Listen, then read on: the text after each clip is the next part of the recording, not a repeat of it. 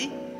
Eh, oggi parliamo di usare dizionari monolingui, cioè di italiano, in rete, il che significa che l'accesso può essere fatto con qualunque dispositivo, a partire dal telefonino al portatile, al computer, alla LIM ovviamente.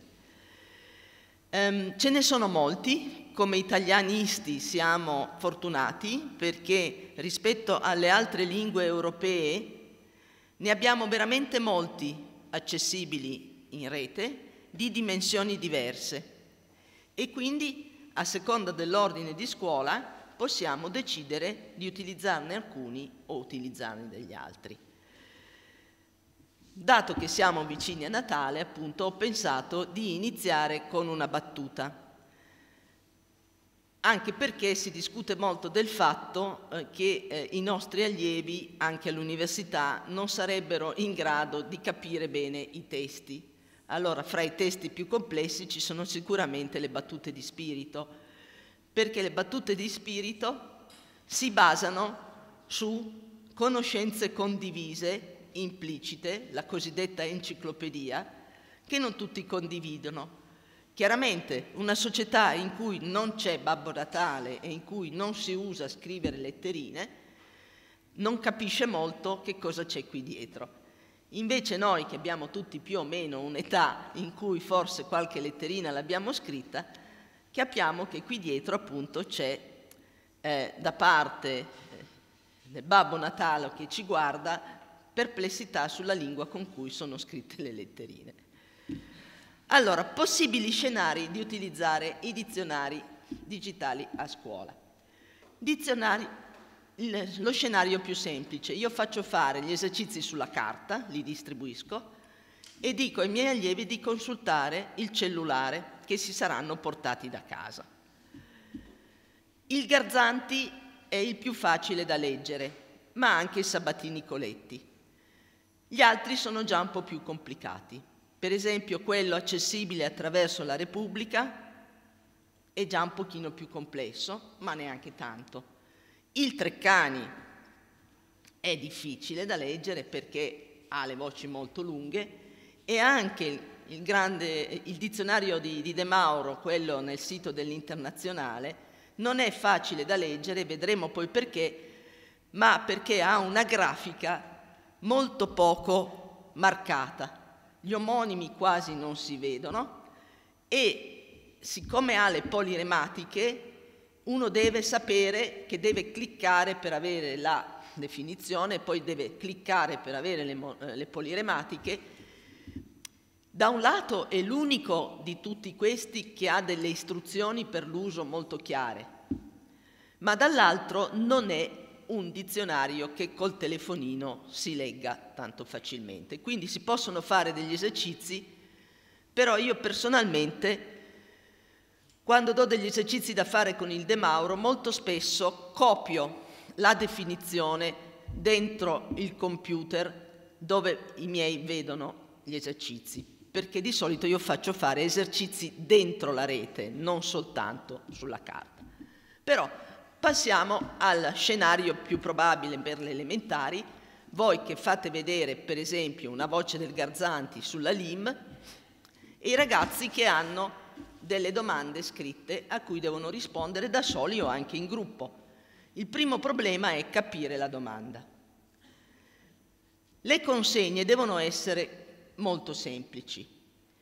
Um, nel sito Esplora Dizionari di cui si parlava prima, questo, eh, che poi vi farò vedere, io ho anche messo un breve glossario di voci in cui si dice che cos'è un lemma, che cos'è un'accezione, che cos'è un omonimo, che cos'è un discriminatore di significato e cose di questo tipo, perché quando nelle consegne io dico cerca un discriminatore di significato, musica per esempio, e una prima datazione, devo poterlo dire in due righe senza stare a scrivere una prima datazione e eh, un discriminatore di significato è quella cosa per cui individui un particolare tipo dello scibile, eccetera, eccetera.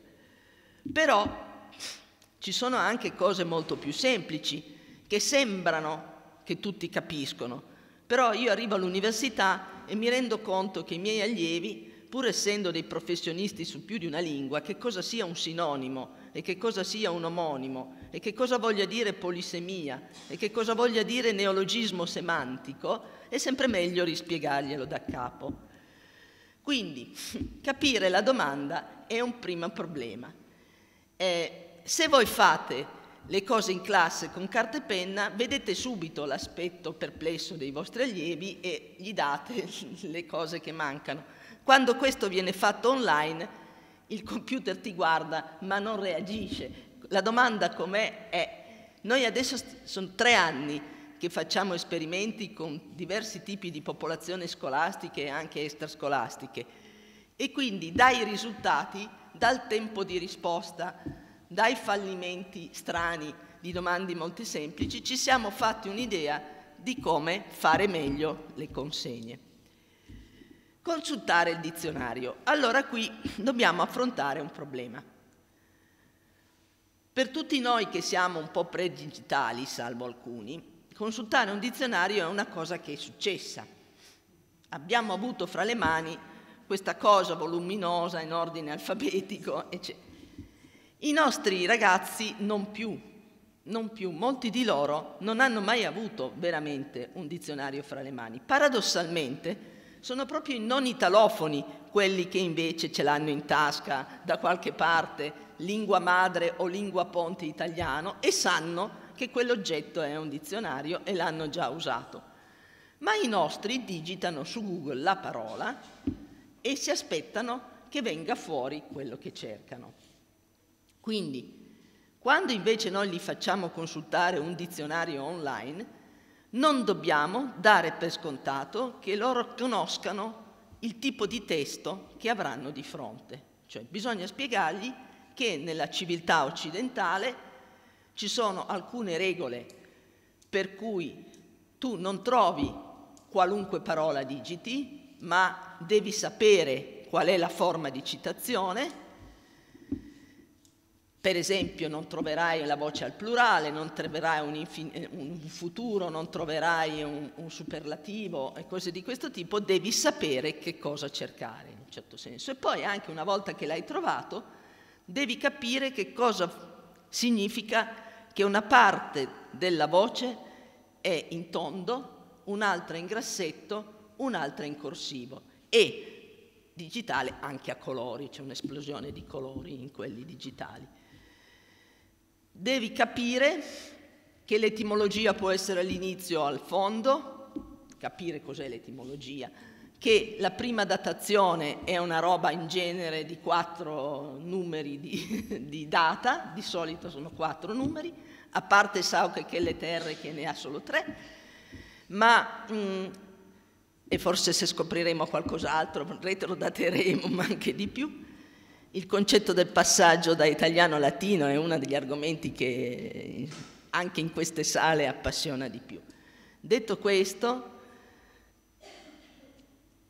c'è soprattutto da capire che cosa sono i discriminatori di significato, che sono molto importanti perché siccome soprattutto il lessico di base, e possiamo immaginare che alle primarie si faccia soprattutto lessico fondamentale, è costituito da parole che sono fondamentali, ma hanno 10 o 12 significati specializzati nei loro ambiti.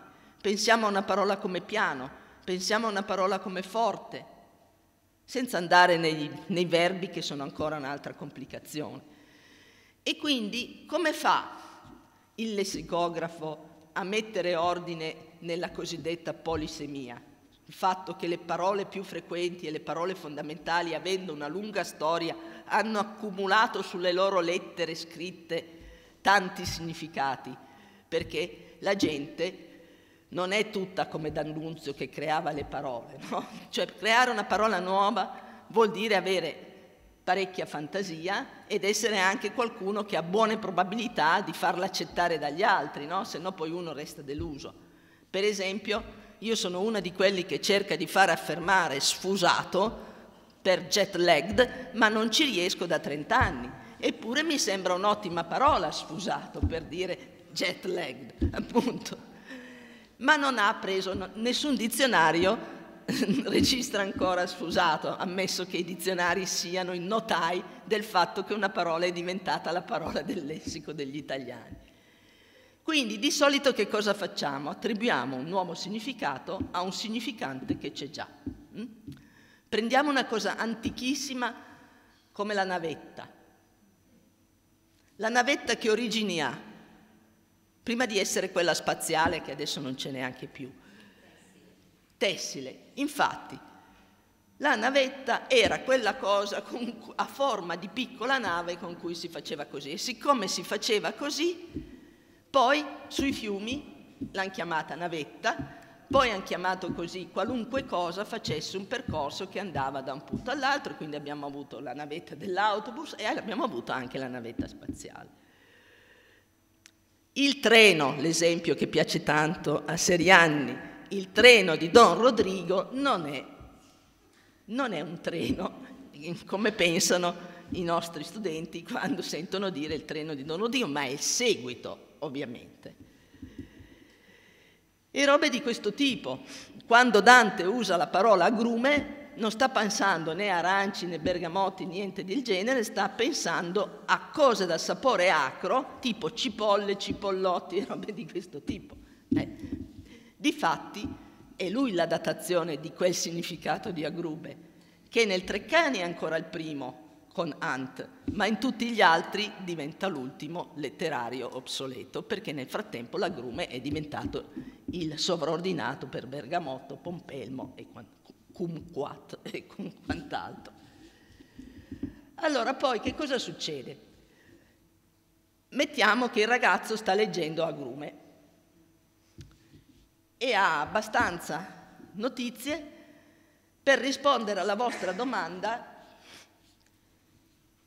quando Dante dice quale dei significati che stai leggendo pensa di usare, e siccome ti danno la prima datazione avanti 1321, tu dovrai, e ti dicono nel significato ultimo, quello letterario, obsoleto e via dicendo, tu dovresti poter cliccare fra tre risposte che gli dai, quella che dice col significato letterario di cose dal sapore acre, eccetera, eccetera.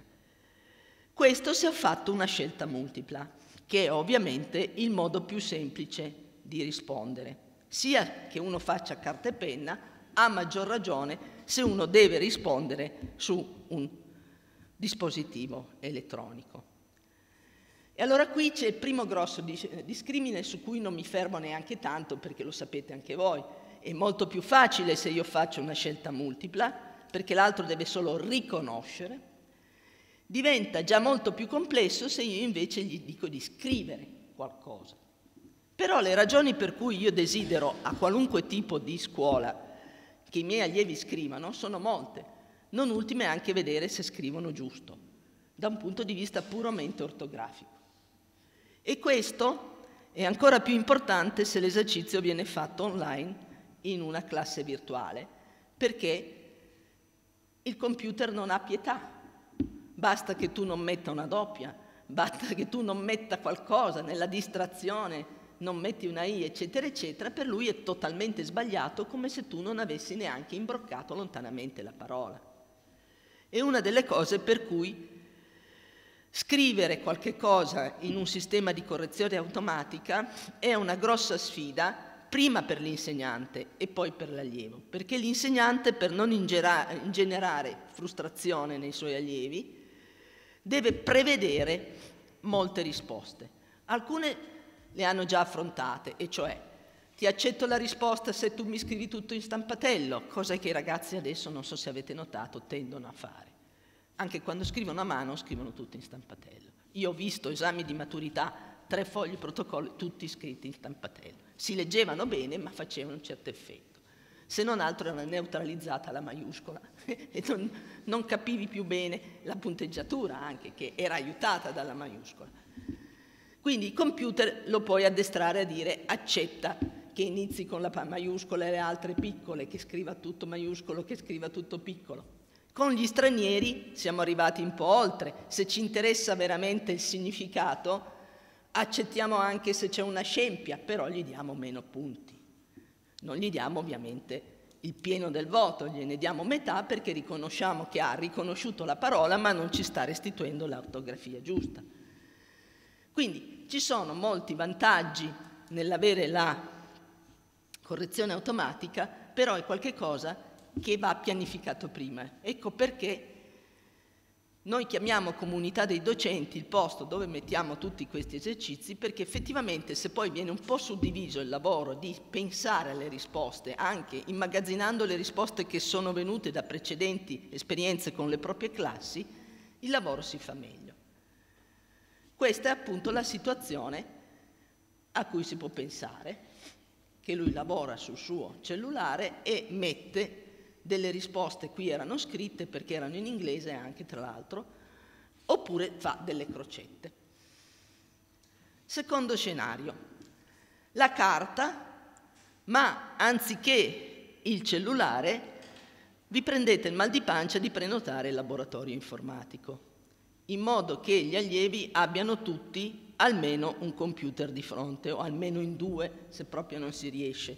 Questo vi permette allora di passare a dizionari più complessi, quelli per cui la voce comincia ad essere 10, 15, 20 righe e che letti sul cellulare sono duri da vedere, perché l'inconveniente della visualizzazione sul cellulare è che se una parola è polisemica va accarezzato parecchio questo schermo mentre su un dizionario, scusate, su un, un computer che non sia appunto piccolo, ma anche già solo un portatile, perfino un tablet, uno ha più probabilità di riuscire a vedere la voce nell'interezza, anche se non la legge tutta, però vede che i significati vanno da 1 a 9 e quindi si rende conto che deve pensarci un po' prima di prendere il primo che è tipicamente la reazione più normale. Allora, anche in questo caso deve capire la domanda. La consultazione diventa più complessa perché in questo caso io posso decidere di fargli usare dei dizionari più lunghi, con voci più lunghi, e poi di nuovo, come prima, cliccare la risposta che sembra giusta, scrivere la risposta che sembra giusta. Terzo scenario computer in laboratorio informatico con piattaforma e dizionario online. Niente più carta, si fa tutto dentro il computer. Gli esercizi sono nella piattaforma e ci sono i cosiddetti pop-up, cioè dei link per cui non deve perdere tempo a cercare la pagina del dizionario, lo rimanda già direttamente al dizionario. Notate bene, non alla voce, al dizionario. Poi una volta entrato nel dizionario, lui deve digitare, deve cercare qualcosa in quel dizionario. Se invece lo rimanda direttamente a una voce è più semplice, quindi c'è già una gradualità di esercizi in questo senso. Se il mio pop-up, se il mio link va direttamente alla voce, l'allievo non deve formulare una domanda nella finestra di interrogazione. Se invece va solo al sito del dizionario, deve già fare quello che Bloom, eccetera, eccetera, di, chiamano applicare una conoscenza, cioè deve mettersi lì e cercare qualche cosa, correndo anche il rischio che l'altro gli risponda non ce l'ho. E vedremo perché. Poi, scrivere la risposta, eccetera, eccetera. Se anche online, può controllare il punteggio, cioè può vedere subito se ha dato la risposta giusta oppure no, e vedere qual era la risposta giusta nel caso si fosse sbagliato. E poi anche, cosa che bisogna veramente educarli a fare, dicendogli valuterò, perché se non ti salva la risposta, magari perché ha sbagliato tanto e non vuole che tu lo sappia, se non la salvi, l'insegnante non lo potrà valutare. In realtà l'insegnante non lo può valutare, ma i sistemisti, cioè noi dietro, abbiamo anche le risposte che non sono state salvate. Però il concetto di classe virtuale è che deve sapere l'insegnante che cosa hai fatto, se no è come un registro in sostanza. E insomma questa è la situazione per cui non ha più carta e fa tutto nel computer. Qui sta, ad esempio, consultando un dizionario che non è gratuito, è online, che è Zanichelli, nel caso specifico i ragazzini. Infine, ehm, questo è uno sviluppo di quello prima, in particolare è quello per cui il testo dell'esercizio deve essere breve. Il testo dell'esercizio deve essere breve perché, nonostante sia su uno schermo grande, cioè se è su uno schermo grande uno può fare la, la, partizione dello schermo, eccetera, eccetera, ma se io voglio fare tramite cellulare la piattaforma, devo tenere conto che ci vuole un certo tempo per passare da una all'altra. Quindi lo spazio della domanda, gli esempi, eccetera, eccetera, devono essere brevi. Per cui in questa modalità io posso fare solo un certo tipo di domande, avendo la sicurezza di ottenere risposte, specie con ragazzi giovani. Mi devo togliere dall'idea di fare domande su Manzoni, su Dante, su testi per cui io devo già riportare quantomeno una terzina, quantomeno 4 o 5 righe di testo per fare la domanda che voglio. Quando voglio delle parafrasi, quando voglio delle, qualcosa in cui c'è una comprensione di testo, farlo con il cellulare è un pochino complesso. Allora, qui è una cosa, l'ho fatta, trovata colorata in inglese, allora l'ho portata in inglese, ma è la famosa eh, griglia di Bloom rivista da Anderson e Crathford. Eh, gli esercizi che si fanno con i dizionari non sono mai creativi, nel senso della parola che c'è qua, perché noi non chiederemo mai ai nostri allievi, se non forse nella secondaria superiore di fare una voce di dizionario. Intendiamoci, in giro per il mondo è diventato molto di moda, è quello che si chiama appunto Wiktionary, no? Cioè tu fai un dizionario wiki, viene, però in realtà anche i dizionari wiki hanno dietro una redazione che ti spiega come si fanno le voci, perché se sono soltanto così proprio bottom up, dal Ruspanti non sono mai delle vere definizioni, danno solo la definizione di qualche cosa di gergale, di qualche cosa di studentesco, di qualche cosa di limitato rispetto a una voce completa. Creare una voce completa è creare un tipo di testo molto complesso. Quindi personalmente io non consiglio di creare delle voci, a meno che non si tratti di fare un glossario specializzato, ad esempio all'interno di un istituto tecnico che deve leggere dei testi magari in situazione di Content Language Integrated Learning e decide come lavoro di classe di tutto un anno di costruirsi un glossario perché non è soddisfatto di quello che trova nel bilingue. Allora può avere un senso, ma allora in questo caso si fa una parte della voce, non si deve costruire un'intera voce. In ogni caso anche lì c'è tutto un problema di definizioni, quindi di scelta di parole che a loro volta siano definite, un problema di esempi, un problema di decisione di, di chi deve capire queste definizioni e insomma scrivere un dizionario, scrivere voci di dizionario è una cosa da professionisti. Quindi io penso che farebbe perdere troppo tempo in una normale classe che ha tante altre cose da fare, cercare di allenare gli studenti a fare questo. C'era stato un periodo in cui con il CNR di Pisa circolava una cosa che si chiamava addizionario, che era già online, era molto bello, giocoso, colorato, era per gli elementari proprio, in cui i bambini disegnavano, eh, raccoglievano definizioni dal nonno, dal papà, le scrivevano, eccetera, eccetera. Come tutte le cose online, aveva tanti vantaggi, ma ha avuto il vantaggio che finito il progetto più nessuno ce l'ha. E quindi ci sono due o tre articoli, ma il addizionario in sé non c'è più, è stata una delle grandi perdite che abbiamo avuto. Lì però era una cosa molto giocosa, era far finta di fare delle definizioni, pian piano, tutti insieme, come lavoro di classe, addirittura di scuola.